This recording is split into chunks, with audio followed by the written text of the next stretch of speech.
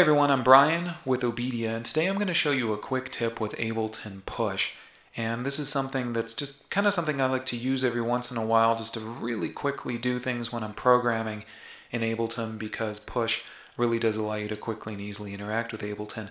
People often ask me how they can build, uh, create build-ups inside of Ableton, and uh, usually those build-ups are going to make use of a drum or some other sample that's going to build from a, a very simple syncopated form up to a very quick, very uh, staccato form and something that's uh, sort of like doing a drum roll up or something like that. Now there's differing ways to do that, but a quick way to start laying out sort of the plan for that is to actually uh, simply play using the push pads and use the repeat function on push.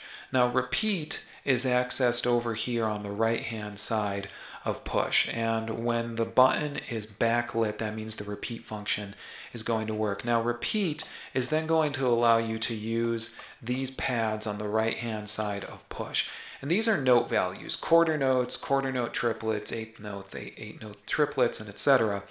Um, now, because usually when we're building uh, up a piece of audio to create a build-up, we usually do start off with quarters and then we'll move up all the way until we get up to very tight notes like 30 seconds and 64th notes. And that really gives us that kind of frenzied sound that we want on a build-up. I'm going to show you how I do that using push.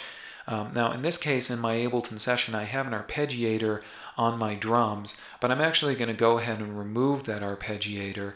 And now what I have is just a snare drum. You can see that's just a standard snare drum sound, kind of an overly compressed, distorted sound. Now I want to do a quick build up with that. So what I'm going to do is uh, I'm actually going to start recording a new clip. And on that clip, I'm while I'm recording that clip, I'm going to make use of my repeat mode. So I'm going to activate repeat. I'm going to start with quarter notes.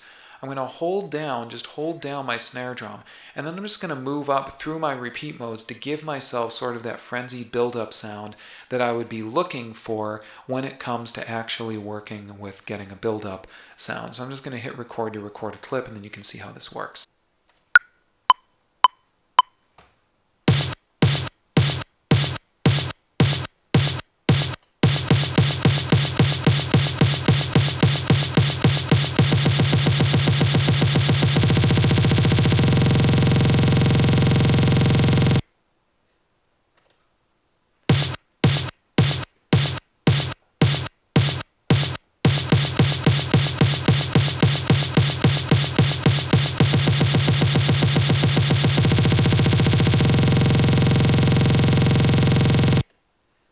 So that's a quick way that I can actually create a build-up using uh, just one button push on Ableton and then going through and utilizing my repeat function here on Ableton. It's a very cool way to do this because usually programming this, it's not the hardest thing to do by hand, but it might not be something that you necessarily want to do. So it is kind of nice to be able to just hold a button down and then very quickly just go right up through my repeat modes and that'll allow me to really get that sound that's, again, really associated with a lot of quick and frenzied buildups. So that right there is just a really quick and easy way to be able to program a build-up. And of course you could repeat this for multiple instruments. So you don't have to do it on just the snare. You could then repeat this onto the kick, repeat this onto any number of sounds. It can be really good on kicks, snares, and sometimes on synth sounds or other sampled sounds. And that's just a quick way to do that build-up. Now there's other ways to program these build-ups, of course, but I love how quickly I can create a clip just like this inside of Ableton using the push hardware without really having to get too deep into the entire programming process. So there you have it guys, quick and easy Ableton push tip for you today. If you've got Ableton push tips, please feel free to leave them for me here in the comments of this video. Or if you'd like, get in touch with me at Obedia. You can get in touch with me, brian at obedia.com. Find me on Twitter and on Facebook, or call us to work one-on-one. -on -one. You can work with an Ableton professional just like myself one-on-one over the phone and through remote desktop. I'll show you how to get the most out of your Ableton uh, software, your push hardware, and everything that you can do with Ableton. Help you get the most out of your digital audio hardware and software. That's what we do best here at Obedia. As always, guys, I'm Brian with Obedia. and I thank, I want to thank you for watching. And until next time, happy music making to you and take care.